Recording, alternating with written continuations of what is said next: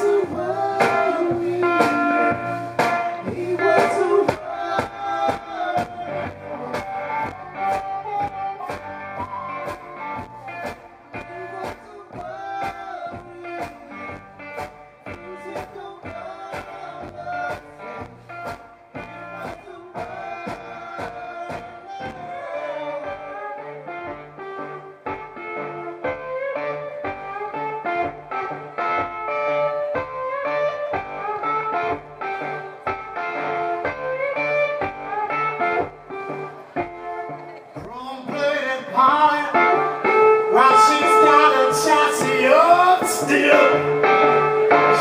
you're lining up your tits time.